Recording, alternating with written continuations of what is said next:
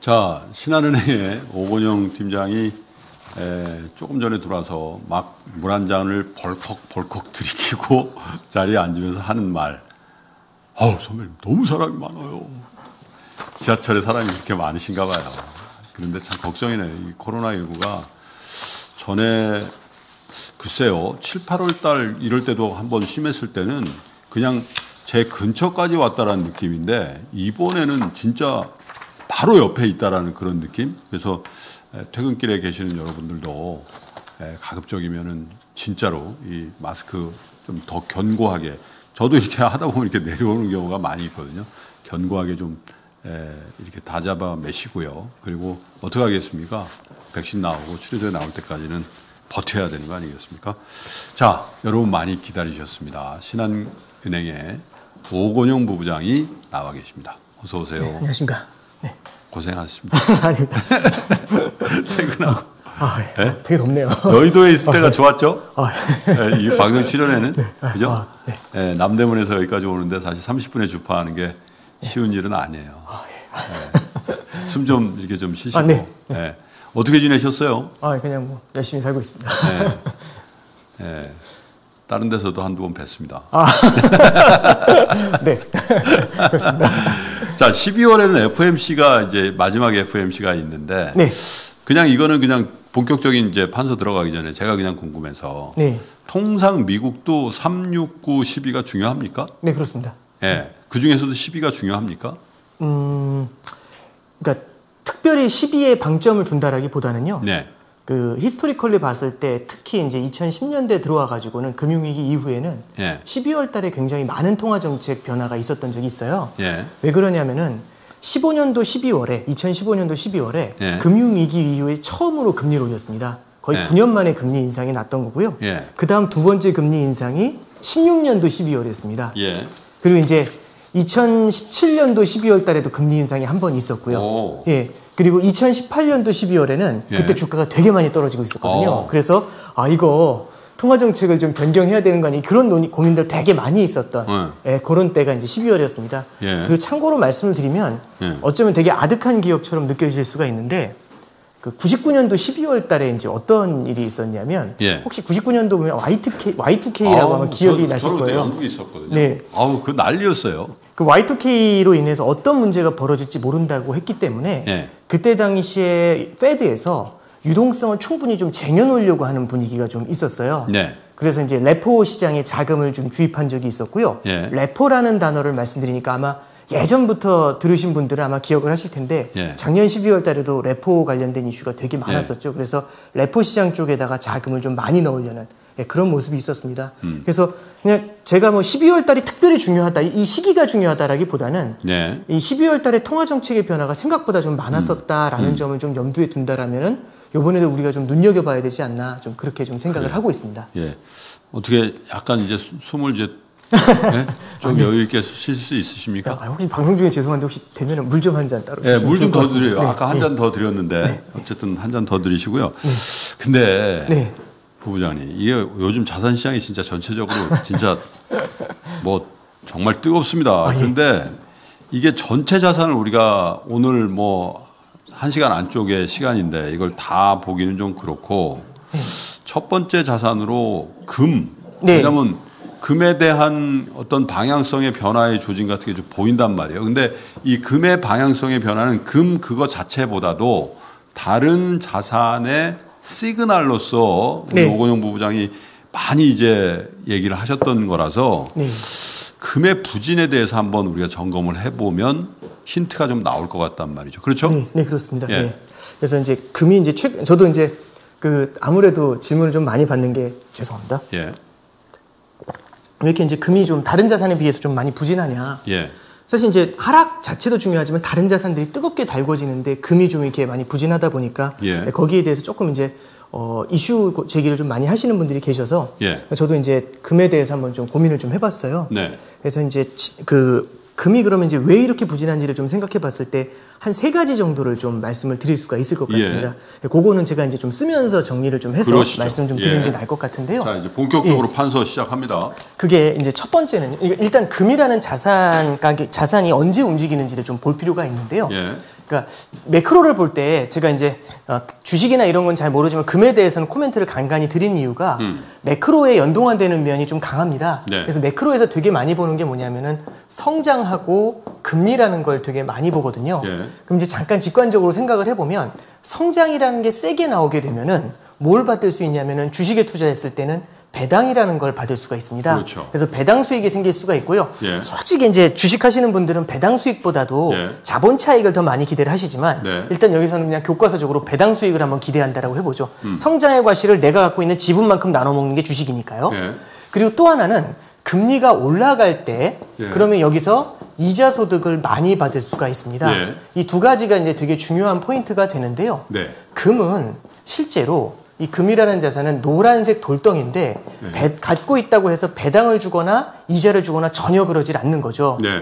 그러면 이제 어떤 때 금이 굉장히 힘들어지냐면은 시장에서 성장이 강하게 나오면서 이런 배당에 대한 기대, 주식에 대한 자본 차익에 대한 기대가 강해지고 예. 시장에서 금리가 많이 올라가면서 실제로 금 이자를 하나도 주지 않는 금보다 다른 채권 자산들이 매력이 있을 그렇죠. 때 안전자산이라면. 예, 이때 금이 굉장히 힘겨워지는 모습을 보인다. 이렇게 볼 수가 있습니다. 예. 그러면 기본적으로 이 틀을 가지고 한번 지금 최근에 최근에 시장을 한번 해석을 해보면 예. 첫 번째 좀 우리가 볼 수 있는 거는 저는 이제 백신 스토리가 되게 컸다라고 생각을 백신, 해요. 예. 예, 백신 스토리가 되게 크다라고 보는데요.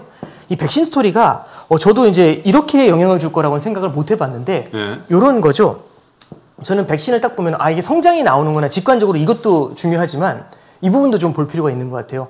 US의 성장하고요, 예. 넌 US의 성장이라는 걸로 한번 나눠보는 거죠. 예. 넌 US 중에서도 특히 이제 이머징 시장의 성장이라는 관점에서 한번 생각을 해보는 겁니다. 예. 그러면 실제로 그 코로나 사태가 딱 터진 다음에 타격을 둘 다 굉장히 많이 받았을 거란 말이죠. 네. 근데 미국은 예전에도 한번 말씀드렸지만 이머징 시장하고 다른 게 하나 있습니다. 예. 뭐냐면은 돈을 무한대로 찍어낼 수 있는 힘이 있는 거죠. 그렇죠. 왜 그러냐면 미국이라는 나라는 달러라는 게 전 세계적으로 쓰이는 기축통화지 않습니까? 예. 그러면 달러라는 거는 실제로 인도하고 한국하고 교역을 하더라도 달러로 주고받아요. 예. 루피아랑 원화로 주고받는 게 아니라. 네. 그러면 달러라는 거는 기본적으로 탄탄한 수요가 존재를 하고 있는 겁니다.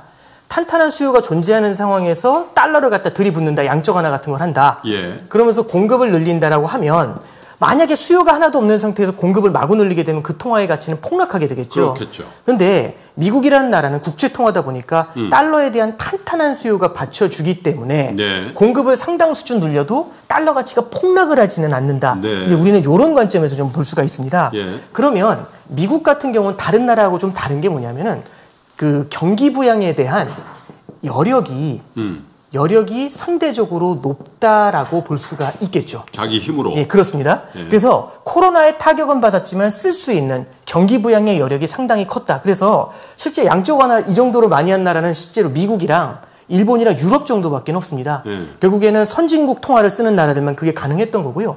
이머징 국가들 같은 경우 그렇게 썼다면 큰일 나죠. 눈치 엄청 보죠. 그렇습니다. 이게 이머징 국가들 같은 경우 어떤 문제가 있냐면요. 네. 첫 번째는 재정 정책을 많이 쓴다고 한번 가정을 해보면 예. 음. 이머징 국가의 부채가 많이 늘어납니다. 그럼 시장에서는 "헉, 저 나라는 왜 이렇게 빚이 많아? 이런 생각을 좀 하게 되죠. 저거 네. 갚을 수 있을까? 그렇죠. 이머징 국가들은 옛날부터 도산했었던 역사가 굉장히 많아요. 예. 실제로 아르헨티나 같은 경우는 99년, 2001년, 2003년 주기적으로 도산을 하거든요. 예. 그래서 이머징 국가가 재정 적자를 낸다라고 하면은 외국인들이 도망가려는 경향이 굉장히 그렇겠죠. 많습니다. 그러면 재정 적자를 낸다라고 하면은 결국에는 자본 유출이 일어나게 되겠죠. 네. 그럼 우리는 직관적으로 이렇게 생각을 하면 됩니다. 경기 부양을 위해서 돈을 뿌렸어요. 국- 그 정부에서. 예. 근데 문제는 뭐냐면 돈을 뿌렸는데 정- 돈이 나가버리는 거죠 해외로. 음. 그러면은 경기 부양 효과라는 게 사실 없죠. 사라져 버리는 거죠. 네. 이게 문제입니다. 예. 그러면 재정 정책을 쓰지 않으면은 금리를 낮추거나 통화 정책을 쓰면 되잖아. 금리 낮추거나 돈을 찍어 뿌리면 그 나라 통화 가치가 크게 하락을 하게 되겠죠. 예. 그럼 외국인들 입장에서는 아르헨티나에서 페소화를 사가지고 아르헨티나 자산을 갖고 있어요. 음. 근데 문제는 뭐냐면은 돈을 남은 그 아르헨티나가 돈을 너무 많이 뿌리니까 페소화 가치가 폭락할 거라는 생각이 들죠. 네. 그러면 아르헨티나에 남아 있을 이유가 없습니다. 그렇죠. 빨리 도망가야죠. 그래서 아르헨티나 자산을 팔고 그렇게 받은 페소화를 팔고 달러를 사서 튀어나가야죠. 네. 그럼 마찬가지로 금리를 내리면 자본 유출이 납니다. 네. 그러면 미국은 재정 정책 쓴다, 금리 인하한다, 무제한 양적 완화한다 이런 얘기를 할 수 있는데 이머징 국가들은 이런 게 다 상대적으로 제약이 되는 거죠. 네. 그럼 이머징 국가 같은 경우 재정 정책 쓰면 자본 유출, 금리 인하하면 자본 유출 이렇게 되면은 특별하게 쓸 수 있는 수단이라는 게 거의 전무하다라고 생각을 할 수가 있는 겁니다. 뭐 개발하셨나 봐요. 네, 아, 예, 오. 그런가요? 괜찮나요? 이것도? 예. 괜찮습니다. 아, 예. 아주 저도 요- 예. 이거 그냥 이렇게 막 쓰고 좀 있는데 화제가 예. 되고 있어요 채팅방에. 예, 알겠어요. 잠시 시간이 남아서 잠시만 좀.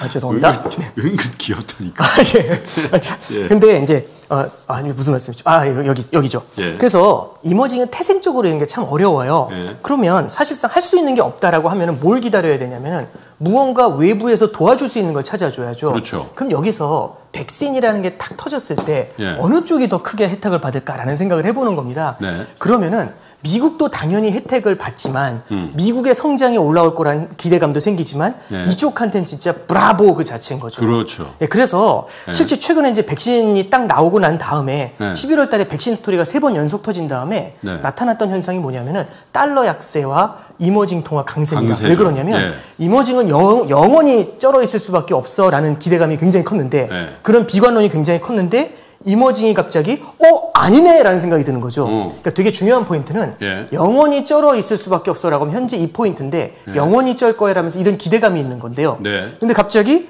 성장이 나오는 거죠. 백신이 나오니까. 어허. 그러면 우와 하고 돌아서는 겁니다. 실제 성장은 깔짝 나왔는데요. 어. 실제 기대감은 우와 하고 반대로 틀어나가는 거죠. 그러면 이머징 시장 쪽에 성과를 먹기 위해서 자금이 흘러 들어오겠죠. 그럼 달러를 팔고 이머징 통화를 사서 들어옵니다. 음. 네. 그러면 이머징의 통화가 강세를 나타내게 될 텐데요. 지금이에요 지금. 네, 그렇습니다. 그래서 브라질도 강하고. 예, 그렇습니다. 헤아라도 강하고 지금 남아공 통화도 강하고요. 네. 이제 터키 리라 빼고는 전부 다 강합니다. 그러면 여기서 이제 어떤 걸 좀 하나 볼 수 있냐면 예. 여기서 조금 복잡한 얘기가 하나 나와요. 네. 그거 조금 한번 좀 짚고 넘어갈게요. 네. 아마 여기서 이제 많은 분들이 좀 이게 아 듣기 싫다 이런 생각 하실 수 있는데 그래도 한번 좀 짚고 넘어갑니다. 뭐가 있냐면 이머징 국가들은요 태생적으로 돈이 없어요. 네. 태생적으로 그 원시 자본이라고 하는데 원래 있는 원래 시작할 때의 자본이 없다. 원시 자본이라는 게 없어요. 네. 그래서 어떻게 하냐면 보통 돈을 빌려옵니다. 해외에서. 네. 그럼 어디서 빌려오면은 국제 금융 시장에서 돈을 빌리려면 금융이라는 게 돈을 빌려주는 거잖아요. 네. 보통 국제 금융 시장에 나가면 원화로 빌릴 수는 없죠. 다 달러로 빌리게 됩니다. 네. 그러면 달러로 대출을 받겠죠. 이게 그 유명하던 달러 빚입니다. 달러 빚. 그럼 달러 빚을 가져오는데요. 제가 해외에서 천 달러를 빌려오는 거죠. 네. 천 달러를 딱 빌려오면 이 달러를 실제 국내에서 쓸 수가 없잖아요. 네. 그럼 뭘 해야 되냐면 달러를 갖다 팔고 원화를 삽니다. 환전. 예, 1달러에 지금 천 원이라고 한번 해볼게요. 1달러에 천 원이라고 가정을 하면 이거 100달러로 바꾸겠습니다. 계산하기 복잡하니까. 네. 그러면 이걸 갖다가 10만 원으로 환전을 할 수 있겠죠. 그렇죠. 그다음에 이걸로 공장을 짓습니다. 그래서 설비 투자를 늘려요. 예. 보통 이렇게 성장을 하게 되는데 재밌는 건 뭐냐면은 경, 경기가 계속 좋으면 대출을 받았잖아요. 이거 예, 1년짜리, 2년짜리 대출 받았는데 계속 연장해 줘요. 예. 나중에 그냥 그 워낙에 돈이 넘치면은 대출을 해준 애들이 이자라도 좀 받으려고 연락도 안 하고 그냥 연장해 주거든요. 예. 그냥 계속 연장이 됩니다. 잘. 근데 언제 문제냐면은 시절이 하수상하면 문제입니다. 돈 못벌 예, 때. 시절이 하수상하면 망할 수도 있잖아요. 연약한 국가들이니까. 음. 그럼 어떻게 되냐면 이거 상환 이렇게 얘기를 하거든요. 갚으세요라고 얘기를 합니다. 그럼 어떻게 갚아야 되냐면은 달러를 팔고 어, 이, 이 공장을 팔고 그렇게 받은 원화를 팔고 달러를 사서 갚아야 되겠죠. 그렇죠. 그러면 너도 나도 달러를 사러 이제 다시 외환시장으로 달려갈 겁니다. 그럼 어떤 일이 벌어지냐면 달러 가치가 폭등을 하게 되겠죠. 음. 그럼 어떤 일이 벌어지냐면요. 1달러에 이게 2,000원이 될 수 있다. 이제 이렇게 한번 생각을 해보는 두 거죠. 배로 상환해야 되네. 예. 그럼 어떻게 되냐면 네. 이 홍길동이라는 사람은 일단 상환하고 끝났어요. 근데 음. 이제 두 번째 사람이 있습니다. 어떤 사람이 있냐면 아직 상환을 안 했죠. 그 사람은 이제 다음 달쯤에 만기가 옵니다. 이 사람은 얼마를 빌렸냐면은 마찬가지로 100달러를 빌렸어요. 음. 근데 이 사람은 어 그러면 이제 이번 달에 만기니까 난 갚아야겠네. 그럼 달러를 사야겠네. 해서 달러를 사러 가니까 얼마를 줘야 되냐면 2,000원을 줘야 되잖아요. 네. 그러면 앉은 자리에서 빚이 두 배로 늘어나는 겁니다. 네. 그래서 우리는요. 달러 강세라고 쓰고 달러 강세는 이머징의 부채 증가. 부채 증가라고 해석을 하면 됩니다. 그렇죠. 예, 그러면 아까 전에 코로나 사태 다시 한 번만 말씀을 드릴게요. 코로나 때문에 미국은 그래도 경기 부양을 할 수 있는 여력이 있었잖아요. 예. 근데 이머징은 경기를 부양할 수 있는 여력이 없었던 겁니다. 음. 그러면 어떤 걸 볼 수 있냐면은 이머징 같은 경우는 경기를 부양할 수 없- 있는 여력도 없다 보니까 통화가 약세였겠죠. 음. 그러면 이머징은 경기 부양 여력도 없는 데다가 통화 약세 때문에 부채 부담이 커지는 이른바 양방으로 싸다기를 맞는 예, 그런 문제가 생겼던 예, 겁니다. 더블 싸다기. 그래서 그렇죠. 예. 굉장히 이제 힘들었던 거죠. 예. 근데 자그 보면은 백신 딱 터집니다. 그때 이머징이 방긋하죠. 예. 그래서 여기 뭐라고 쓰냐면 통화 강세가 나옵니다. 네. 그럼 달러 약세가 나온다는 얘기죠. 그렇죠. EM 통화 강세는 달러 약세가 나옵니다. 그러면 아, 부채- 우리는 부채 감소네. 그렇죠. 예. 부채 감소. 부채 부담이 줄었다라고 이렇게 쓸 수 있겠죠. 음. 그러면 성장이 나오는데 부채 부담이 줄면 투자를 하고 성장이 좀 더 강하게 나올 수 있겠죠. 소비도 늘리고. 네. 그러면 여기서 성장이 다시 늘어나게 될 겁니다. 그러네요. 성장이 늘어나면 어떻게 되냐면 또 통화 강세가 일어나겠죠. 네. 이 선순환에 들어옵니다. 통화 강세 부채 부담 부채 부담 감소 성장. 네. 통화 강세 부채 부담 감소 성장. 이거 몇 번씩 돌겠죠. 네. 그래서 실제로 11월 달부터 최근까지 나타나는 현상이요. 예. 이렇게 이머징 국가 전체적으로 통화의 강세가 전반적으로 형성돼 나오는 이제 그런 모습을 보여줬었던 겁니다. 네. 그래서 이제 첫 번째 이제 말씀드릴 수 있는 거는 이 백신의 스토리라는 건요. 네. 단순히 미국뿐만 아니라 전 세계 전반의 성장에 성장에 대한 기대감 이걸 굉장히 크게 키워놨다. 이제 요걸 우리는 볼 수가 있을 것 그러니까 같아요. 뭔가 예. 백신과 그 지금 우리 주식 상, 주가의 상승, 환율의 강세 이런 거 연관성은 그냥 체험적으로 알 것 같고 우리 아마 청취자 여러분, 시청자 여러분도 알 것 같은데 그렇게 딱 정리하니까 네. 딱그 시점부터 랠리였네요. 예. 이게 예. 저 저도 이제 어차피 뒤에 환율 얘기가 이제 섞여 네. 들어갈 수 있으니까 예. 미리 좀 말씀을 드리면 예. 일- 일단 말씀이 나왔으니까 조금 더 미리 말씀을 드리면 음. 이제 그런 거죠. 잠시만요. 예. 예. 네, 이제 그 미리 말씀을 좀 드리면 그 환율이 이제 굉장히 빠르게 하락을 했지 않습니까? 네. 근데 환율이 하락을 할 때 이제 굉장히 많이 나왔었던 논리가 이런 논리가 있었어요. 그러니까 네. 저도 많이 말, 그 동의하고 어떤 게 있냐면 나홀로 원화 강세라는 게 되게 무서운 겁니다. 어허. 나홀로 원화 강세, 네. 나홀로 위안화 강세 이게 되게 무서운 겁니다. 네. 왜 그러냐면 한번 보세요. 예. 한국이라든지 중국이라든지 물론 옛날에 비해서 경제 규모가 커진 건 맞지만 네. 이 나라들이 갖고 있는 가장 큰 핵심 중에는 수출 성장이라는 게 매우 중요할 겁니다. 예. 근데 원화 강세하고 위안화 강세가 나오는데 이게 이제 핵심이죠. 이게 어떤 질문들을 많이 받냐면 예. 원화가 강세로 가면은 주식 시장이 안 좋아요? 수출 기업들 안 좋아져요? 이렇게 이제 여쭤보시는 분들 계세요. 물어보시는 네. 분들 계세요. 예. 근데 핵심은 뭐냐면 만약에 원화가 강세로 가는데 동시에 엔화도 강세고 달러 대비 예. 동시에 위안화도 강세고 다른 EM 이머징 통화도 다 같이 강세다. 그러면서 달러 혼자 왕따로 약세다라고 하면은 예. 사실 원화의 강세가 상당 부분 상쇄가 되는 효과가 그렇죠. 있습니다. 그래서 원화 강세만 나타나게 됐었을 때는 아니, 원화 강세가 전 세계적인 통화의 강세하고 동반해서 나타났을 때는 이 충격이 상대적으로 적어요. 예. 근데 올해 이제 9월달, 10월달을 보시면 원화 강세, 위안화 강세가 나타나는데 네. 유로나 엔이나 이머징 통화는 달러 대비 약세를 보이고 있는 거죠. 어. 그러면 원하고 위안화 같은 경우는 달러 대비 강세죠. 음. 네. 근데 그 외에 있는 다른 EM 통화는 달러 대비 약세를 보이고 있었던 겁니다. 브라질 네. 헤아라 같은 경우는. 네. 그러면 중간에 있는 달러를 싹 지우면 달 원화나 위안화는 EM 통화 대비 활강세 이렇게 표현을 할 수 있죠. 그러네. 이러면 수출 경쟁이 안 돼요. 네. 그래서 이런 경우에는요. 이 한국이라든지 중국이라든지 급격하게 자국의 통화가 절상되는 것에 대해서 굉장히 큰 경계감을 갖게 됩니다. 자기네들만 그러면 그렇죠. 근데 제가 말씀드린 게 뭐냐면 백신 스토리가 나오면서 이머징 통화가 전체적으로 강세를 보이니까 네. 그러니까 글로벌 달러가 약세를 보이는 거죠. 전체적으로 이렇게 한꺼번에 그렇죠. 동반 강세를 네. 보이게 되니까 원화도 추가로 강세로 갈 수 있는 룸이 생겨났던 거죠. 저건 그냥 글로벌리 달러 약세. 그렇습니다. 네. 그러니까 글로벌 달러가 아니라 원화만 강세 이렇게 됐었을 땐 그 원화의 강세가 지속 가능할 수가 없거든요. 저러면 신문에 나잖아요. 네, 그렇죠. 우리 수출 기업 비상. 예, 그렇죠. 예. 그래서 이제 그냥 원화가 강세다라는 것도 있지만 예. 원화 강세와 함께 다른 나라 통화는 어떤가도 같이 보는 게 되게 중요하다라고 볼 수가 있고요. 예. 그래서 이제 그 수출하시는 분들 이제 많이 이제 얘기하다 보면 예. 환율 관심이 많으시잖아요. 예. 그분들 같은 경우는 원화 달러원 환율도 되게 궁금해하시지만은 예. 엔원 환율, 원엔 환율이죠. 엔화 대비 원화 환율 이런 것들 되게 많이 궁금해서 많이. 물어보십니다. 예, 네. 당연히 경쟁 통화니까요. 네. 그래서 이제 우리가 이게 이제 최근에 원화 강세가 조금 더 그러니까 꽤 빠르게 나타날 수 있었던 음. 그런 요인 중에는 이 백신 스토리에 기반한 emerging 통화 전체적인 강세 스토리, 달러 약세 스토리 그리고 성장 스토리가 같이 겹쳐 있었다. 이렇게 이제 좀 생각을 해보시면 될 것 같습니다. 우리가 근데 처음에 금 얘기로 시작했죠. 네, 그러니까 제가 이게 문제예요. 이상한 얘기를 많이 괜찮아요, 해가지고 괜찮아요. 그러니까 이게 막 그, 어, 오늘 저도 지금 정신이 없으니까 막 생각나는 대로 막 말씀을 드리고 있는데 이러면 안 되는데 네. 네, 다시 정리를 좀 해드리면 예. 다시 정리를 해드리면 금이라는 애는 이자나 배당을 안 주는 애입니다. 아무런 쿠폰을 안 줘요. 음. 네. 그러다 보니까 성장이 올라와서 배당을 주려고 하거나 금리가 높아져서 이자를 많이 받게 되면은 예. 금이 힘들어진다. 이 말씀을 드렸고요. 성장 사이드에 대해서 뭘 말씀드리냐면 백신 스토리를 말씀드렸던 겁니다. 예. 이게 1번입니다. 예. 이제 2번이 뭐냐면 예. 2번은 금리 사이드에서 말씀드리면 예. 여긴 당연히 누가 나오냐면은 Fed를 비롯해 가지고 중앙은행들이 나오게 돼요. 예. 얘네들이 이제 금리를 많이 이제 조절을 하게 되는데 예. 이게 옛날하고 좀 많이 사뭇 바뀐 게 좀 있습니다. 예. 어떤 부분이 바뀌었냐면요. 여기 이제 최근에 한번 좀 나타나는 모습을 좀 보면은 음. 그 지난주에 한국은행 금통위가 있었어요. 네. 한국은행 금통위에서 이제 어떤 얘기가 나왔냐면 이제 요 얘기가 나왔었죠. 그 환율에 대한 질문도 있었는데 그 예. 이주열 총재한테 이제 막 이것저것 질문을 해요 기자회견에서 네. 어떤 얘기가 나왔냐면은 이 가계 부채에 대한 얘기가 나와요. 네. 가계 부채에 대한 얘기가 나오고 그 다음에 부동산에 대한 얘기가 나왔습니다. 음. 이 가계 부채라는 게 뭐가 문제냐면은 이게 우리나라가 가계 부채가 굉장히 빠르게 증가를 하고 있는 상황이죠. 네. 이 영끌이라는 말까지 나올 정도로. 그렇죠. 그럼 가계 부채가 증가하는 이유가 뭘까라고 생각을 해보면 예. 정말 여러 가지 이유가 있습니다. 어. 정말 여러 가지 이유가 있는데 그 중에 하나가 금리죠. 음. 금리도 그 중에 이유가 하나가 되는데요. 왜 그런 거 하니? 금리라는 거는 돈의 값입니다. 돈의 가격인데요. 음. 결국에는 돈이라는 거는 그러면 가격이라는 건 싸지면 수요가 높아지는 거잖아요. 그렇죠. 옛날에 우리나라 금리가 10% 이러면 사람들이 무서워서 대출 받기가 힘들어요. 예.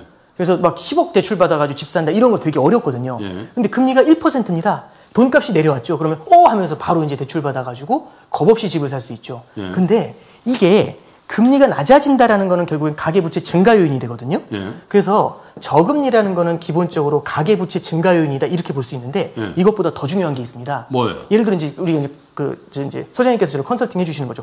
어저 대출 받아서 집 사도 될까요? 금리가 낮은데. 예. 그러니까 어 그러면 이제 어, 조심해야지 막 이렇게 얘기를 해주시는 거예요. 예. 근데 이제 제가 얘기하는 거죠. 어 그래도 지금 금리가 낮으니까 괜찮잖아요. 근데 소장님께서 딱 한 말씀 하시는 겁니다. 음. 그럼 그 금리가 영원히 낮을 것 같아? 딱 얘기하시는 거죠. 금리가 20%까지 또 올라갈 수 있잖아. 이제 이렇게 얘기하시면 겁이 나는 거죠. 금리라는 게 막 변동한다고 하면 겁이 나서 음. 네. 지금 금리가 낮다고 못 받을 겁니다. 대출을. 그렇죠. 그런데 갑자기 이제 소장님께서 그 얘기하시는 거죠. 딱 차트를 보여주면서 음. 봐라 20년 동안 금리는 내려오기만 했다. 그리고 다시 물어보시는 거죠. 혹시 올라갈 거라고 생각하니?라고. 음. 그러면 제가 아니요. 그러면 우리 둘의 마음속에 어떤 얘기가 들어오냐면 저금리 장기화에 대한 합리적인 기대가 기대. 생긴 겁니다. 네. 이게 제일 중요한 포인트입니다. 네. 그러면 어떻게 되냐면 대출을 받아가지고 이제 집을 사거나 가계 부채를 늘리려는 그런 경향들 영끌이 여기서 이제 성립하게 되는 요인이 되는 거죠. 물론 금리만 갖고 그걸 설명할 수는 없지만 네. 저금리가 영원히 이어질 거란 그런 기대감이 생기면은 부채가 필연적으로 늘어난다라는 얘기를 할 수 있고요. 네. 이번에 이제 금통위에서 가계 부채에 대한 논의가 있었다. 이런 것들을 좀 봤었을 때는 예. 우리나라 같은 경우도 추가적인 금리 인하에 대해서는 상당히 경계감을 가지고 있다라고 생각을 해주시면 예. 될것 같습니다. 그래서 최근에 보면은 채권 시장에서 시장 금리가 조금 올라갔어요. 예. 그래서 그걸 좀 하나 볼 수가 있고요. 이런 모습은 어디서도 나타나냐면 중국에서도 나타납니다. 네. 이제 한국보다도 중국이 그 코로나 사태에서는 먼저 돌아섰잖아요. 그래서 중국 같은 경우는 실제로 전 세계 주요국 중에서요 플러스 성장을 구- 기록하는 유일한 이제 주요국입니다. 음. 그러다 보니까 중국 같은 경우는 플러스 성장을 딱 기록하니까 뭐라고 하냐면 예전처럼 그런 비상시에 했었던 돈 마구 뿌리기 대수만관이라는 표현을 쓰더라고요. 뭐 네. 댐을 열어가지고 막 물을 쏟아내는 대수만관. 네, 그런 짓 하지 않겠다라고 얘기를 하는 거죠. 정말 필요한 데만 돈을 주고 나머지는 대출을 많이 안 해줄 거다. 이제 이런 얘기를 해요. 네. 그래서 이제 중국이 하는 짓이 뭐냐면 이제 금리를 인상하면 굉장히 좀 무서우니까 이게 중국이 이제 이런 게 있어요. 그 RP 프로그램이라는 게 있습니다. 이- 네. 이게 중요한 게 아니고요. 이 그냥 이렇게 7일짜리 대출을 좀 이렇게 많이 늘려줘요. 시장에다 7일로 대출을 쭉 뿌려줍니다. 그럼 이제 7일로 대출을 해줬을 때 예를 들어서 천 위안을 한번 뿌려줬다고 해볼게요. 7일, 7일만 쓰세요 하면서 시중에 유동성을 천 위안을 공급해줬습니다. 예. 1년으로 공급해주면 되잖아. 1년으로 공급해주면 1년 동안 묶이잖아요. 시중에 너무 많은 돈을 줬는데, 시중에 너무 많은 돈을 줬는데 너무 많이 풀린 거죠. 어떡하지? 근데 1년 기다리셔야죠. 이렇게 되잖아요. 7일이면, 잠깐만 있어봐. 6일만 있어봐. 이렇게 되죠. 예. 6일 안에 버블이 생기진 않을 거잖아요. 그래서 그렇죠. 오케이. 천위안 뿌려! 한 다음에 딱 뿌린 다음에 이제 보는 거죠. 간을. 보니까 어, 괜찮은 것 같죠? 그럼 어떻게 되냐면 7일 후에 만기가 돌아오잖아요. 네. 그러면 800위안만 뿌려요. 예. 어 그러면은 늘어난 거 아니야? 천위안이 대출이 상환이 되잖아요. 그럼 800위안만 뿌려 800위안만 뿌리면은 실제로는 200위안을 회수한 겁니다. 예. 그래서 이렇게 RP 조정을 해요. 주 단위로 단기로 자금을 조금씩 조금씩 늘- 이제 줄여가는 그런 작업을 했어요. 예. 그랬더니 이제 어떤 일이 벌어지냐면 이제 아마 최근에 보셔서 아시겠지만 이 회사채 으윽 하는 이 눈물 나는 거 또 한 번 나오죠. 이게 아마 이제 최근에 나타났었던 현상입니다. anyway 이제 말씀드리고 싶은 건 뭐냐면은 중국에서도 지금 하고 있는 거는 예. 실제로는 대수만관 형태의 유동성 공급에 대해서는 상당히 경계감을 갖고 있습니다. 네. 그리고 호주하고 뉴질랜드 중앙은행 같은 경우도요. 예. 돈 뿌리는 것에 대해서 마찬가지 최근에 경계감을 나타내는 예, 그런 모습을 좀 보여주고 있어요. 예. 근데 아니 Fed라고 써놓고 왜 다른 나라만 얘기해줘? 이제 이런 생각이 드실 수 있는데 이제 Fed 얘기를 잠깐 좀 해드리면은 네. Fed 같은 경우도 요즘 분위기가 좀 심상치 않아요. Fed에서 이제 무슨 얘기를 하냐면 네. 아까 이제 12월 FOMC 얘기하셨잖아요. 네. 요번 FOMC가 이제 14일 날 15일 날 이제 그때 15일 16일이었나? 이제 그때 예. 있거든요. 예. 근데 이번 FOMC에서 눈여겨 보셔야 될 게 뭐냐면은 예. 이거예요. 뭐예요, 뭐? 자꾸 이제 3,000% 빠지는 느낌인데 나중에 다시 한번 정리를 네. 해드리는 걸로 네. 하고 이왕 또 FOMC로 또 갔으니까 거기서 좀만 더 얘기를 해드리면 이런 거죠. 지금 Fed에서 얘기하고 있는 건 지난 10월 달부터 해서 기대감을 하나 만들어낸 게 있습니다. 뭐라고 하냐면 우와 양적 완화를 확대한대요 라고 얘기를 하는 거죠. 그래서 장기 국채 매입을 갖다가 늘릴 거다라고 얘기를 하고 있는 겁니다. 네. 근데 이거 이거 하나만 좀 보시면은 좀 이렇게 생각을 좀 해보세요. 첫 번째는 시장에서 기대하는 건 뭐냐면 네. QE의 규모를 갖다가 늘려주는 겁니다. 예. 현재 매주 처- 아, 매달 1,200억 달러만큼 돈을 뿌려주고 있거든요. 예. 매달 1,200억 달러만큼 돈을 뿌려주고 있는데 이거를 늘려주세요라고 얘기하는 거죠. 예. 아니 주식시장이 이렇게 뜨거운데? 근데 시장에서는 얘기하는 거죠. 주식시장만 보면 어떡해요? 경기를 보셔야지. 지금 코로나 사태 얼마나 위험합니까? 라고 얘기하면서 주식은 계속 올라가는 거죠. 그러니까 이거 받아먹으려고 하는 거죠. 예. 이거 주세요 라고 얘기하고 있는 겁니다. 알파 주세요 라고. 예.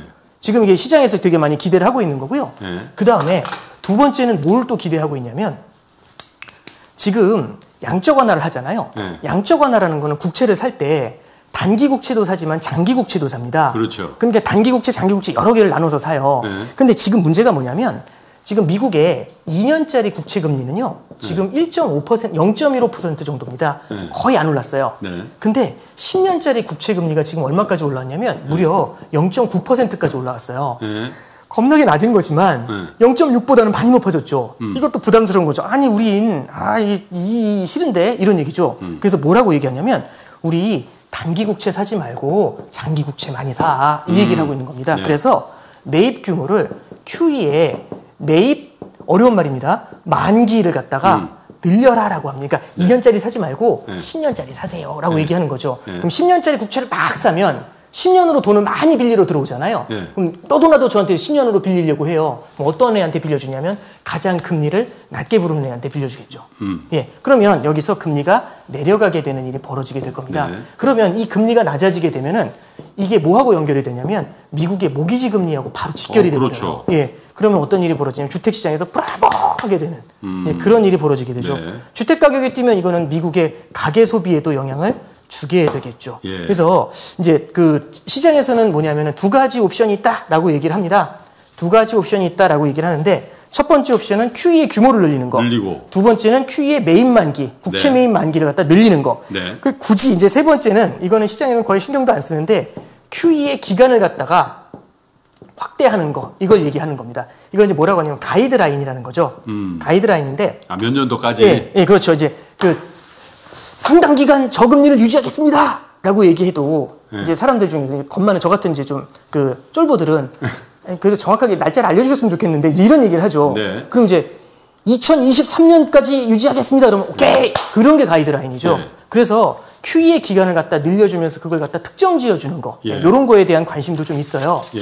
그럼 시장이 지금 기대하는 거는 이 셋 중에 뭘까? 사실 제일 맛있는 사탕은 A가 제일 맛있어요. 규모. 그렇죠. 예. 돈 더 준다는데. 예. 두 번째는 좀 더 맛있는 사탕, 규모는 똑같은데 예. 그걸 준다고 하는 거 B도 맛있는데 예. 실제 시장에서는 이 두 개 다 주길 바랍니다 지금. 예, 이게 지금 기대감이에요. 네. 근데 어, Fed에서는 저는 이제 이게 하나의 반작용인 것 같아요. 자산 가격이 굉장히 뜨겁게 올라가잖아요. 예. 자산 가격이 되게 뜨겁게 올라가고 백신에 대한 얘기가 많이 나오고 하니까 최근에 이제 Fed 인사들이 하는 얘기가 뭐냐면은 여기에 대해서 되게 경계감을 많이 표명을 하고 있습니다. 네. 그래서 15일 날 있을 FOMC에서는요. 예. 실제로 A가 나오긴 쉽지 않을 것 같아요. 음. B도 생각보다 쉽진 않을 것 같고 음. 그냥 이렇게 C를 얘기를 해주면서 조금 이 가이드라인을 이렇게 줄지는 어떻게 줄지 모르겠지만 이런 식으로 얘기를 해주면서 요 가능성은 열려 있어요라는 정도로 하려고 할 것 같습니다. 네. 정리해서 말씀드리면 페드는요. Fed가 돈을 계속 푸니 안 푸니라고 물어보시면 풀 겁니다. 단 시장이 기대하는 것보단 조금 덜하게 풀 것 같아요. 보수적으로. 예, 왜냐하면 시장의 기대를 충족시켜 주잖아요. 그럼 시장이 고마워요 이게 아니라 더욱더 기대를 무럭무럭 키워가는 거죠. 그럼 다음번엔 더 주겠네, 더 주겠네. 진짜 더 주겠다고 바라니까 더 주죠. 그럼 계속 그 꿈을 키워가는 그러니까 boys be ambitious가 돼버리는 그런 문제가 생기죠. ambitious. 그래서 실제로 이제 Fed에서는요. 실제로는 이제 시장의 기대보다는 조금은 실망스러운 예, 그런 모습을 갖다가 유지하게 되지 않을까라고 생각을 합니다. 네. 그러면 여기서 이제 제가 말씀드렸던 게 뭐냐면은 시중에 유동성 공급을 갖다가 예, 시장이 기대하는 것보다는 좀 덜하게 된다는 얘기는 네. 결국엔 이거는요 금리의 상승 요인인 거죠. 어허. 돈이 넘치면 금리는 내려갈 거지 않습니까? 돈의 네. 공급이 늘어나면은 돈의 값인 금리는 내려갈 건데 음. 생각보다 많이 안 뿌려주면 많이 뿌려줄 줄 알고 금리를 밑으로 찍어 눌렀다가 어 이만큼 왜 안 주니?라는 얘기가 나올 수 있죠. 그래서 아까 전에 말씀드렸던 것처럼 10년짜리 국채 금리가 이렇게 올라온 겁니다. 음. 그러면 성장 스토리가 나왔죠. 금리가 올라왔습니다. 위로 한번 연결해 보면은 성장이 나왔고 금리가 나왔죠. 그럼 누가 오냐면 여기 금이 울게 되는 거죠. 예, 이게 이제 우리가 볼 수 있는 기본적인 스토리고요. 네.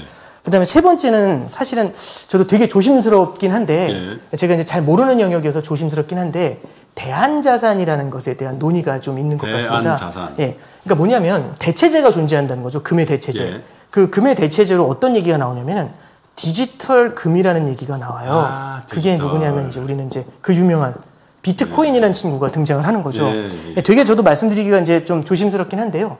이 비트코인이라는 얘기를 할 때 많은 분들이 했던 얘기가 2018년도에도 그 얘기가 되게 유명했었죠. 예. 뭐냐면은 비트코인이라는 거는 중앙은행, 그러니까 권력자가 화폐를 지배하는 게 아니라 음. 결국에는 민간이 지배를 민간이 화폐를 지배하는 네. 민주적인 화폐다라는 얘기를 많이 하죠. 예. 그래서 얘네가 탄생한 가장 큰 이유는 방만하게 중앙은행이 돈을 마구 뿌리기 때문에 예. 거기에 대한 반작용으로 해서 등장했다라는 얘기를 합니다. 예.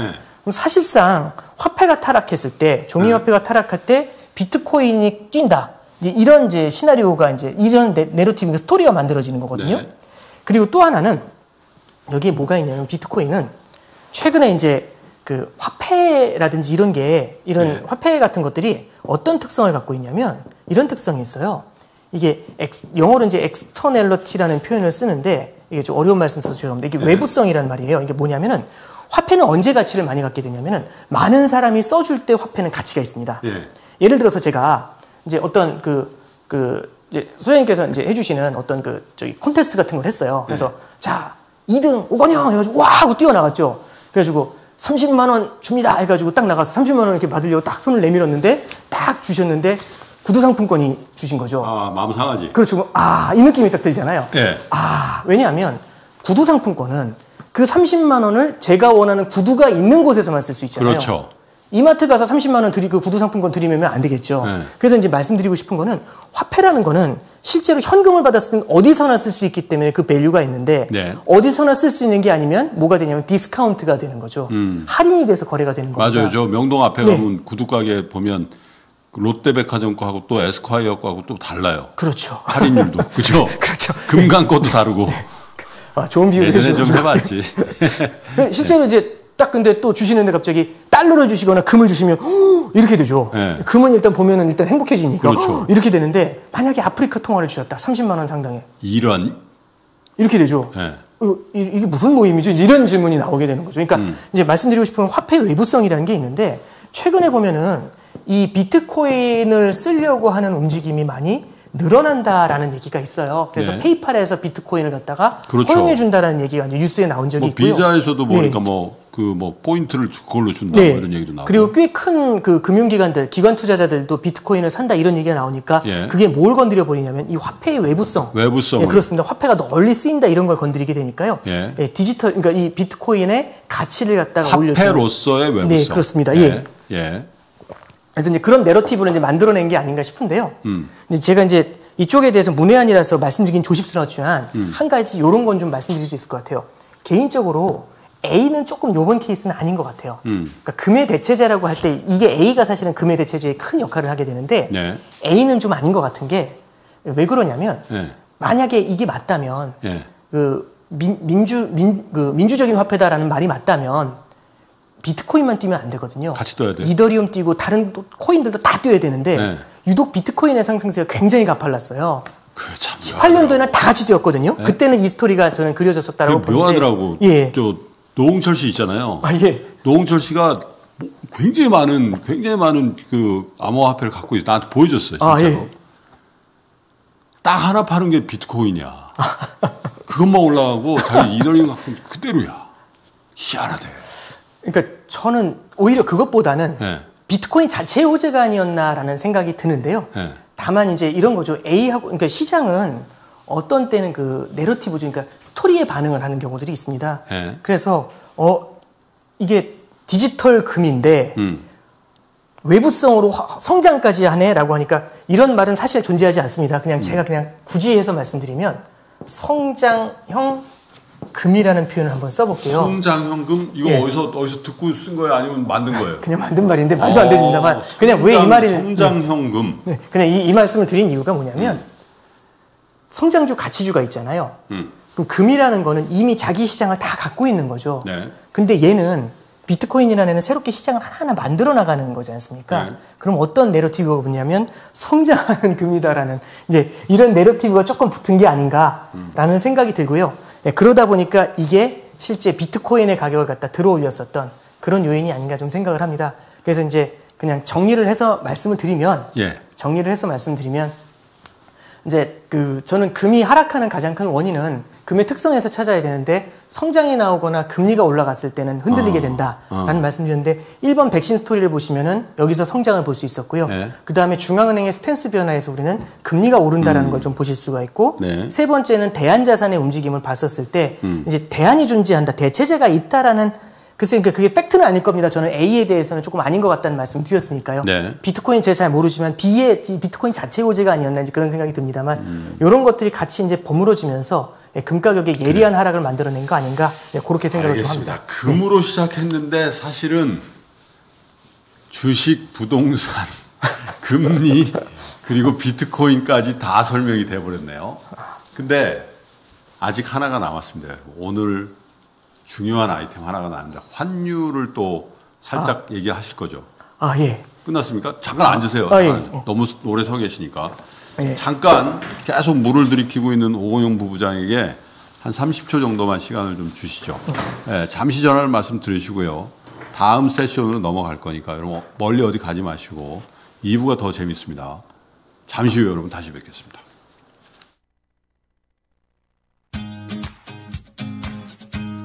철학책보다 어려운 보험약관 여러분 얼마나 확인하고 가입하셨습니까? 내가 가입했던 보험들 중복되진 않는지 나에게 꼭 맞는 보험인지 기존에 가입한 보험을 꼼꼼히 분석해서 불필요한 보험 지출을 줄이고 내가 가입한 보험의 가치를 높여주는 보험 리모델링 서비스 인슈업 보험 전문 설계사가 무료로 여러분의 보험을 꼼꼼하게 점검해 드립니다. 보험 리모델링 전문 기업 인슈업 1800-7017 1800-7017 1대1 무료 상담하세요.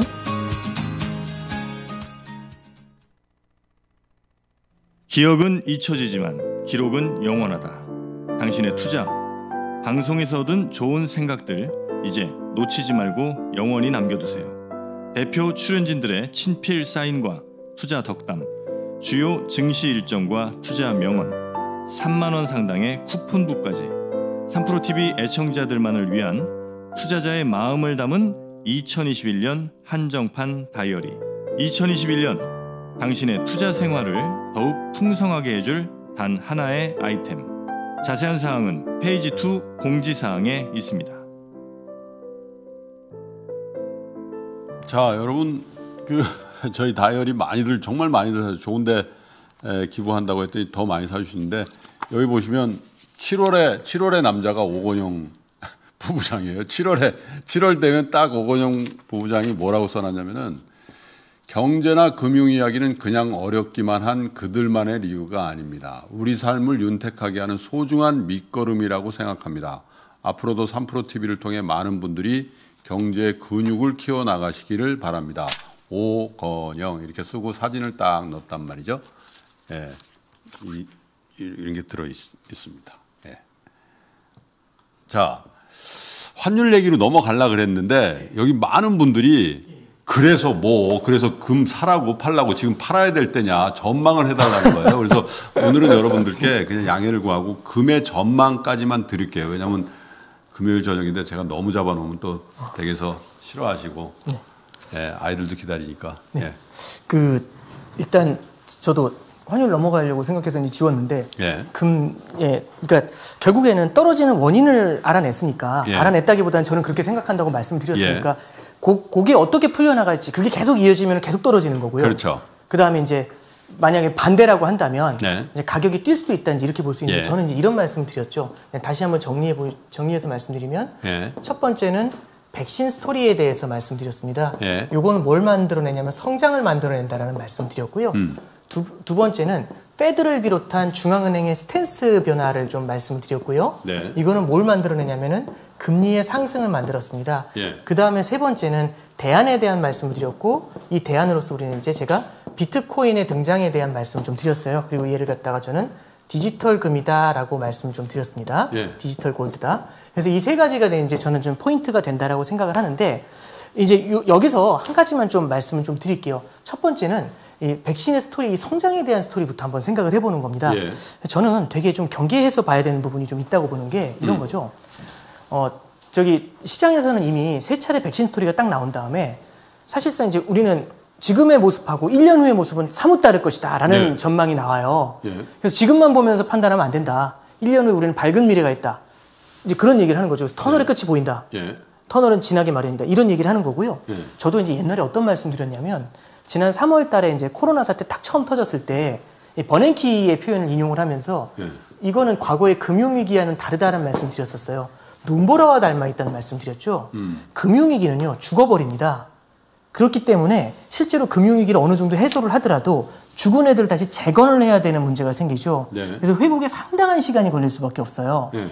근데 코로나 사태는 눈보라와 같다는 말씀을 드렸고요. 눈보라는 뭐냐면 눈보라가 몰아칠 때는 잠시 일을 멈추고 집에 들어가서 숨어 있으면 된다는 얘기죠. 네. 다만 문제는 뭐냐면 빚이 없으면 계속 숨어 있으면 되는데 네. 빚이 있으면은 빚쟁이들이 날아다니잖아요. 네. 와가지고 막 때리니까 망하니까 그럼 죽잖아요. 그래서 이 눈보라가 치는 동안에 빚으로 인해서 망하지 않게 그때 브릿지론 같은 거 네, 가교 역할을 해주는 돈을 갖다 뿌려주면서 이 눈보라가 있는 동안에 적극적인 부양을 하면 된다라는 말씀을 드렸어요. 네. 눈보라가 가시면 그냥 나가서 일을 하면 되죠. 그래서 이거는요 굉장히 템포러리한 악재이다라는 말씀을 좀 드렸던 바가 있어요. 네. 근데 그게 이제 언제냐면 올해 3월이었습니다.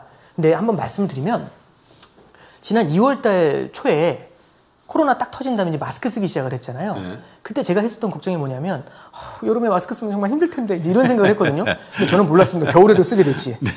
지하철을 딱 타면 모두가 쓰고 있거든요. 그러니까. 이제 이런 생각을 좀 많이 해요. 아니, 겨울에 근데 쓰니까 예. 좋더라고. 어, 따뜻하죠. 네, 따뜻하더라고. 겨울에는. 이제 선생님 저 이게 안- 안경이 김설이면 예. 되게 고통스러울 때가 좀 있습니다. 그렇긴 하죠. 예. 예. 그래서 이제 그런 건 있는데 아니 제가 자꾸 쓸데없는 얘기를 합니다. 예. 그래서 이런 말씀 드리는데 생각보다 이 눈보라가 장기화되고 있습니다. 네. 그러면 어떤 일이 벌어지냐면 연구 실업이라는 게 벌어질 수가 있죠. 예. 실업자가 일시적인 실업이 아니라 연구 실업자가 굉장히 빠르게 증가하는 음. 그런 모습을 좀 보이고 있어요. 그리고 이제 두 번째는 뭐냐면 이런 거죠. 그러면 1년 동안 코로나 사태 때문에 힘들었습니다. 이제 음. 1년이 지나서 해소가 됐어요. 오케이. 원상 복귀 다 났어. 이런 이런 이런 거죠. 네. 그럼 이제 뭐하고 똑같냐면 홍길동이라는 친구가 있습니다. 네. 홍길동이라는 친구가 코로나에 걸려 가지고 1년 동안 병원에 있다 나왔어요. 예. 병원에 입원했다가 나왔어요. 혼수 상태에 있다가 나왔습니다. 1년이 딱 지난 완전 원상 복귀. 예전에 그 모습으로 돌아왔어요. 쌩쌩한 그 모습으로. 예. 그럼 오케이 축하받을 일이죠. 그렇죠. 근데 문제가 하나 있습니다. 네. 뭐가 문제냐면 병원비는 어떡하죠? 병원비는요. 아, 그대로 뭘로 남냐면 예. 빚으로 남습니다. 어. 그래서요. 코로나 사태가 끝나서 백신이 나왔다고 해도요. 네. 백신이 해결해 주지 못하는 건 보건의 문제는 해결해 줄 수 있지만 네. 부채의 문제는 해결해 줄 수가 없습니다. 그렇죠. 이, 배- 이 코로나로 인해서 눌려 있었던 2020년 내내 늘어났었던 그 부채 있죠. 네. 어마어마한 부채에 대해서는요. 담보를 해줄 수가 없습니다. 네. 그러면 홍길동은 어떤 상황이 되는 거냐면 네. 빚더미에 앉아 있는 상황으로 원상 복귀가 되는 거죠. 네. 그러면 그게 과연 좋은 것일까라는 생각을 우리는 좀 해볼 필요가 있습니다. 네. 그러면 이제 당연히 반대편에서 다른 질문이 나올 수 있죠. 그럼 주가는 왜 이렇게 오르는데? 재밌는 건 뭐냐면 지금 시장에서는 참가자들이 이 빚을 본인이 안 갚을 거라고 생각을 합니다. 이건 다 정부가 갚아주거나 페드가 해결해 줄 거라고 생각을 하는 거죠. 네. 예, 갖고 있어도 아무 문제 없다. 예, 그런 생각을 하는 건데 예, 네. 그건 뭐 제 생각에 다른 논의가 좀 되지 않을까 좀 싶고요. 네. 그럼 이제 여기서 이제 뭘 말씀을 드리냐면 결국에는 이 백신이라는 게 굉장히 크게 늘어났고요. 백신이라는 걸로 인해서 우리는 성장을 기대할 수 있다라고 생각을 했는데 우리는 이 성장의 뒤에서 뭘, 보, 뭘 보셔야 되냐면 부채. 라는걸 봐야 된다라고 생각을 합니다. 예. 제가 이제 최근에 질문 받았던 것 중에 어떤 게 있냐면 해외 아이비들에서도 질문이 좀 많이 나와. 이- 이 해외 아이비들에서도요. 이제 금에 대한 전망이 나옵니다. 그러면서 어떤 전망이 있냐면 금이 드디어 장기 하락 사이클에 접어들었다라는 얘기를 하는 분들이 있어요. 금이 예. 그러면서 뭐라고 하냐면 12년도, 13년도를 닮았다라고 얘기합니다. 네. 2012년도, 13년도를 닮았다라고 얘기하는데 이때가 금 가격이 예리하게 떨어지기 시작했을 때예요. 예. 요거 잠깐 설명을 좀 하나 해드리면 이게 시간이 제가 몇- 몇- 언제까지 할 수 있죠? 뭐 오늘은 네. 오건영 부장, 부부장 하고 싶은 대로 한번 아, 예, 알겠습니다. 제가 최대한 빠르게 해보겠습니다. 네. 또 보- 보시는 분들도 불편하시니까 네. 이게 12년도 9월 달까지 경기가 쉽게 안 살아났어요. 네. 그래서 뭘 하냐면 이때 양적 완화 QE3라는 걸 합니다. 예. 이 QE3를 할 때 누가 이 QE3가 해야 된다라고 얘기했던 가장 대표적인 사람이 이 앨런이라는 분이 이 얘기를 했었어요. 어 이번에 재무장관 되죠. 그래서 시장이 환호하고 바보 이런 거죠. 저 사람은 왕비둘기. 근데 이분도 사실 드릴 말씀이 많은데 일단은 시장은 그렇게 생각을 하는 겁니다. 네. 자, QE3라는 게 등장을 해요. 그래서 기존하고 QE3가 다른 게 뭐냐면 MBS라는 걸 집중적으로 매입한다고 합니다. 네, 모기지. 이 MB 그렇죠. 모기지 채권을 매입을 하는데 모기지 채권을 직접 삽니다. 옛날에는 장기 국채를 사가지고 장기 국채 금리를 내려가지고 네. 장기 국채와 연동된 모기지 금리를 내리는 간접적인 타격을 줬거든요. 네. 근데 이제 모르겠고 직접 사. 직접 사가지고 모기 지 금리를 직접 내리는 거죠. 네. 그러니까 옛날에는 이쪽 눌러서 저쪽 내려오는 걸 기대를 했던 건데 이렇게 계속 누르면서 이제는 모르겠고 한데 가서 확 눌러버린 거죠. 하도 경기가 안 살아나니까. 음. 그래서 QE3는 QE1, 2보다 이 양적 완화 1, 2보다 훨씬 셌습니다. 네. 그래서 MBS를 사버렸고요. 그래서 저도 이거 아, 정확하게 기억이 나는 게 네. 이때 미국에 가 있었어요. 2012년 말까지 미국 주택 경기 되게 안 좋았는데 진짜 거짓말처럼 13년도 초부터요. 올라. 소형 주택을 중심으로 해가지고 미국 주택 경기가 빠르게 돌기 시작을 해요. 아. 대형은 되게 늦게 오르기 시작을 하는데 네. 소형 주택 경기는 되게 빠르게 돌기 시작합니다. 아 그때 유학가 있었구나. 그때 이제 인터뷰 할 때 놀랬던 게 미국 애들이 뭐라고 하냐면 미국 애들이 아니지 미국 분들이 뭐라고 하냐면 같이 이제 어, 같이 공부했었던 친구들이 아 이게 자, 자, 자, 작은 집을 샀는데 최근에 너무 많이 올랐다고 막 자랑을 하더라고요. 예. 그래서 이제 뭐 anyway 그래서 이 13년 초에 이제 미국의 주택 경기가 빠르게 살아납니다. 예. 그러면서 이제 미국이 2009년도부터 2012년까지 3년 4년 동안 굉장히 절어 있었죠. 예. 그러다가 13년 초부터 드디어 성장이 제대로 나오기 시작을 합니다. 성장이 나오니까요. 그때 당시에 Fed 의장이 버냉키라는 분이었죠. 버냉키 의장이 13년도 5월 달에 무슨 얘기를 하냐면 우리 이제 금리 인상을 준비해야 되는 거 아니야 라면서 출구 전략이라는 걸 말을 하게 됩니다. 아, 완전 쫄아버렸죠. 예, 그러면 이게 무슨 얘기냐면 시장에서 이제 금리 인하 끝났다. 금리 올리는 사이클이 시작된다라는 얘기가 시작된 겁니다. 예. 그래서 이 두 가지가 딱 붙으면서요. 금 가격이 온스당 1,900불까지 올랐던 게 쫙 떨어지기 시작합니다. 얼마까지 가요 그래? 그러면서 2015년도 12월이죠. 네. 서두에 질문 주셨었어요. 12월이 중요하냐고. 네. 제가 바로 뭐라고 말씀드리냐면 15년도 12월에 9년 만에 첫 금리 인상이 있었다는 말씀드렸죠. 네. 첫 금리 인상을 하면서 앞으로 금리 인상 훨씬 많이 할 거야라는 얘기를 하는 그 순간 금 가격이 온스당 1,050불로 바닥을 찍었어요. 반토막 난 거야? 네, 그렇습니다. 이렇게 떨어졌어요. 금 가격이. 네. 그런 다음에 금이 금 다시 올라오는 스토리는 언제였냐면 19년도 6월 달에 무슨 얘기가 나왔냐면 아. 금리 인하를 해야 되지 않겠어? 라는 얘기를 하니까 네. 드디어 금리 인하 사이클이 시작된다. 그러니까 금리 인하가 중요한 게 아니라 금리 인하 사이클이 시작된다라는 얘기를 딱 들으니까 눈이 금이 눈을 번쩍 뜨면서 19년도 6월부터 금 가격이 수직으로 뜨기 시작을 하죠. 이제 그런 일이 벌어진 아 겁니다. 근데 여기서 잠깐. 네. 설마 지금이 금리 인상 사이클이라고 얘기하시는 겁니까? 만약에 금리 인상 사이클? 저는 전혀 그렇게 생각하지 않는데 네. 만약에 네. 이게 맞다면 12년과 13년을 닮아서 장기 하락이라는 이 말이 맞다면 네. 시장에서는 그러니까 이, 이걸 말하는 건 결국에 뭐냐면은 얘가 중기적으로 뭘 봐는 거냐면은 금리 인상 사이클에 대해서 고민을 하고 있다라고 보시면 돼요. 네, 저는 거기엔 동의를 하지 않습니다. 왜 그러냐면 아니 그 중요한 거예요 지금. 네 그렇습니다. 네. 진짜 맞다면 금리 인상 한동안 못할 금이 겁니다. 빠지는 게 문제가 아니라 주식도 지금 그렇죠. 사이렌 울려야 돼요. 네, 그렇죠. 그렇게 볼 수 있죠. 근데 우리가 이제 뭘 생각을 해보, 근데 금은 네. 실제로 주가가 떨, 이때는 주가가 떨어지기 전에 미리 반응을 해요. 네. 중앙은행의 움직임에 대해서는 먼저 민감하게 반응을 합니다. 네. 그래서 이제 좀 말씀드리고 싶은 건 뭐냐면 이런 말씀 좀 드려볼게요. 중앙은행은 돈을 너무 많이 푸는 데 대해서 항상 부담을 가집니다. 예. 부담을 가지기 때문에 조금 좋아지는 걸 보게 되면은요, 네. 조금씩 조금씩 밑장을 빼고 싶어 하는 모습을 좀 나타내게 돼요. 네. 그래서 어, 페드가 처음으로 금리 그 양적 완화를 실시했던 게 2009년도 3월에 시작을 해요. 예. 그래서 2010년도 6월 달에 분위기가 좀 좋아지는 것 같으니까 네. 첫 번째 1차 양적 완화를 끝내죠. 음. 그랬더니 2010년도 9월 달부터 WDB 찾아옵니다. 음. 그래서 어떻게 하냐면 2010년도 11월 달에 2차 양적 완화를 시작합니다. 예. 그러다가 2010년도 11월에 양적 완화해서 2011년도 6월에 끝내요. 음. 분위기 좀 좋아지는 것 같으니까. 네. 그랬더니 2011년도 8월 달에 미국 신용 등급이 강동되고 유럽 국가들이 토하면서 끝나기 시작을 하죠. 그랬죠, 예. 그때. 그래서 어떻게 하냐면 2012년도 그 9월 달에 3차 양적 완화를 합니다. 네. 그러면서 이 사이클로 들어온 거예요. 네. 말씀드리고 싶은 건 뭐냐면은 실제 성장이 나온다라고 생각하면서 조금씩 빼잖아요. 근데 얼마를 빼야 될지 누구도 몰라요. 자, 이번에는 금리를 정확하게 0.132%만 올리면 될 거야. 이런 건 없어요. 일단 올려보는 거죠. 너무 많이 올려서 내려. 이게 뭐냐면은 계속 조정을 하는 구조가 나타나게 되는 거죠. 그리고 최근처럼 이렇게 빚더미에 앉아 있잖아요. 네. 옛날하고 다른 게 있습니다. 네. 빚이 너무 크면은요. 0.1%의 금리 상승에도 굉장히 시장이 민감하게 반응을 합니다. 네. 그래서 페드에서는 어떤 생각을 하게 되냐면 올린 다음에 너무 부담스러워하면서 이렇게 조정하는 것보다는 네. 일단 확실하게 살아나는 걸볼 때까지 기다리죠. 네. 네, 그래서 시장에서 생각하는 것처럼 백신 나온다고 해서 금리 인상 사이클이 빠르게 시작되거나 예, 그렇게 생각하기는 좀 어렵습니다. 하나 참고로 말씀드리면 이게 언제 어느, 어느 어떤 케이스를 좀 보시면 되냐면 중국 케이스를 좀 보시면 돼요. 예. 지금 보시면 아까 제가 간단하게는 말씀드렸는데 중국 같은 경우는 지금 코로나의 충격을 가장 덜 받았다고 얘기를 하고 네. 성장도 세게 나올 거란 얘기를 하고 중국의 제조업 경기가 지난 이제 5년 만에 최고치다 막 이런 얘기가 나와요. 예. 그랬더니 이제 중국에서 어떻게 하냐면 아까 말씀드렸던 건지 금리 인상도 아니죠.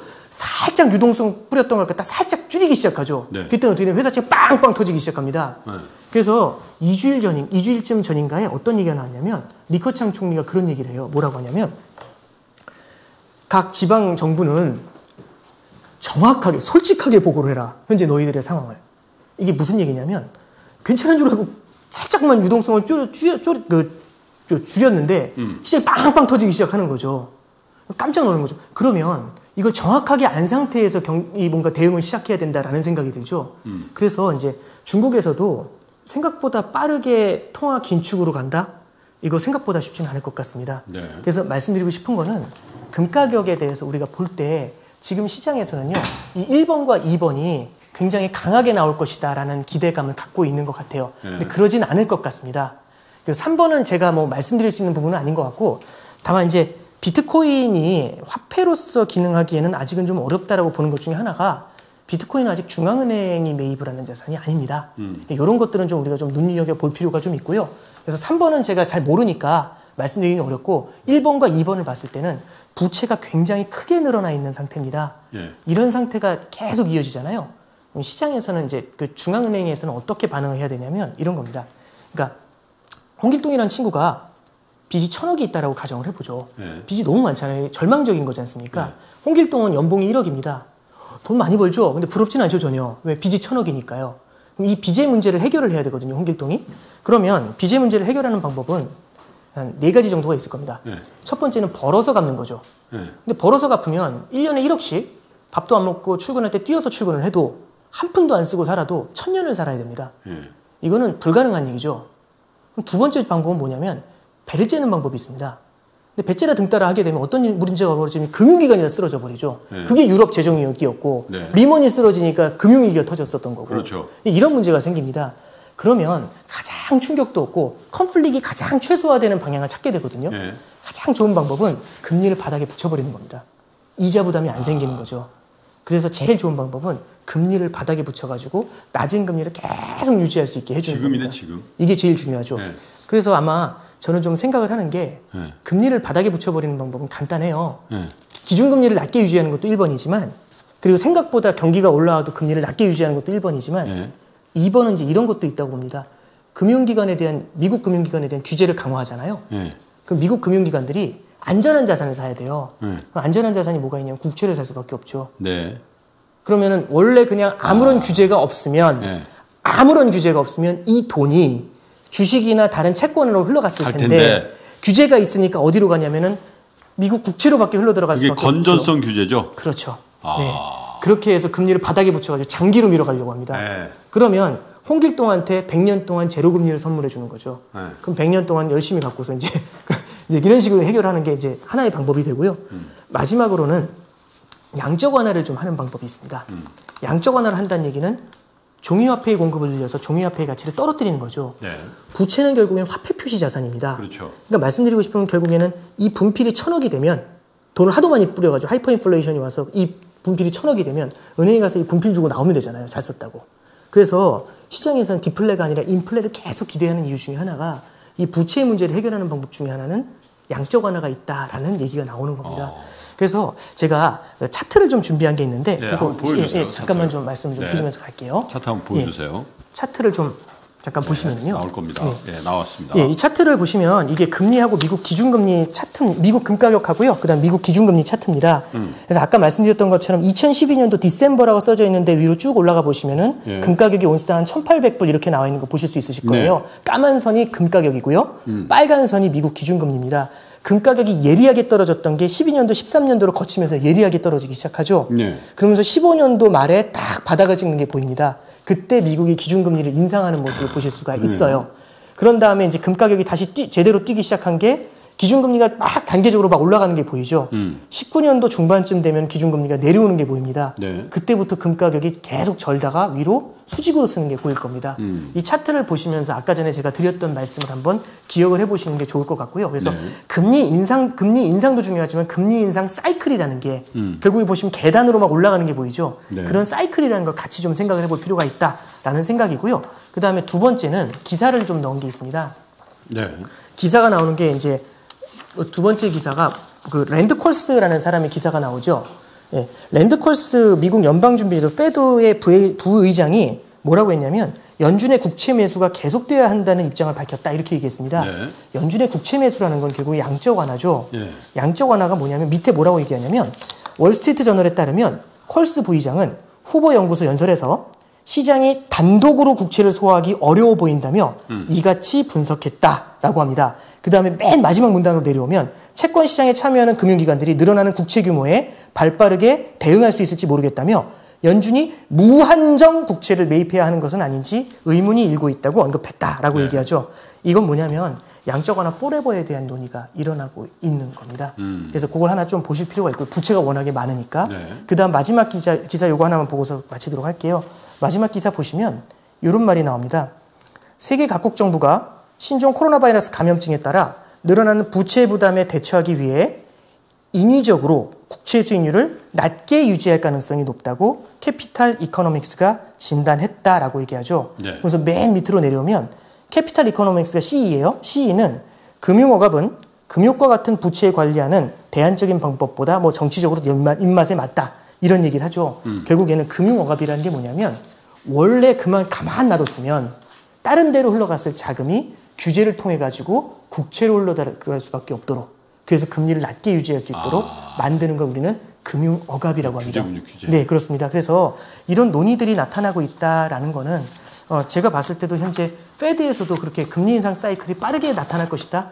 이런 거 쉽게 생각하기는 좀 적어도 그걸. 조장하진 않을 네, 것이다. 그렇습니다. 그러면 중장기적으로 봤었 조금 중기적인 시각에서 봤었을 때 그러면 성장이 쉽게 안 올라오면 계속 중간중간 결국에 울퉁불퉁한 길을 걸으면서 돈을 뿌려주면서 경기에 음. 대응을 할 수밖에 없겠죠. 그럼 종이화폐의 공급이 계속해서 늘어나게 될 겁니다. 네. 왜? 부채가 많기 때문에. 부채가 많고 성장은 연약하기 때문에. 지금 기대가 크지만. 그때마다 이제 한 번씩 반응을 해주는 건 예. 예, 저는 이제 금이 될 거라고 보고요. 그런 관점에서 포트폴리오에 그런 형태의 시나리오를 대비할 수 있는 자산이 음. 일부 들어가 있어야 될 것 같다라는 관점에서 예, 금에 대한 관점을 좀 말씀을 드립니다. 음. 네. 그래서 네. 언명을 해주세요. 아, 네, 저는 중기적으로 가지고 계시는 게 좋을 것 같다고 네. 생각합니다. 급하게 팔 필요 없다. 네, 그렇습니다. 알겠습니다. 저는 사실 뭐 금 투자를 하지 않기 때문에 이 금에 대한 오건용 부부장의 에, 금의 에, 등락에 대한 원인과 향배에 대한 얘기를 들으면서 오히려 제가 관심이 많이 있는 주식, 채권 혹은 부동산에 대한 인사이트도 곁들여서 아, 받게 됐는데 여러분 많은 도움이 되셨죠? 에, 생각 같아서는 아까 하고 싶은 대로 하라 그래서 제가 사실은 잡아놓고 싶은데 우리 오건영 부부장이 집이 또 이렇게 가깝진 않아요. 그래서 시장하기도 하고 또 이 정도로 해야 또 주말 편히 쉬시고 다음 주나 다다음 주에 여러분과 또 한번 만나지 않겠습니까? 하, 미리 축하할 일이 있는데 예, 이 부의 대이동에 관련해서 미리 제가 다음 주나 다다음 주에 오픈할 때 지금 오픈하면 안 된대요. 그래서 미리 축하할 일이 있는데 하여튼 그 축하할 무렵에 한 번 더 나오세요. 아, 예, 알겠습니다. 감사합니다. 네, 감사합니다. 아직 연말까지 한 번 정도는 더 나오실 수 있는 거잖아요. 그죠? 아, 예, 알겠습니다. 네. 여러분 시, 에, 신한은행의 에, 오건영 부부장과 함께 했는데 에, 많은 분들이 에, 끝까지 2만 1000분 이상 오히려 숫자가 늘어나는 그런 지- 진기한 예, 그런 모습이었는데 예, 오늘 열강해 주신 신한은행의 오건영 부부장에게 문자로 채팅으로 격려 좀 많이 해 주시고요. 저는 따뜻한 선배 미소로 보내드리도록 하겠습니다. 권영아 수고했다. 아, 감사합니다. 이렇게 원래 얘기한다 이거죠. 오건영 부부장이었습니다.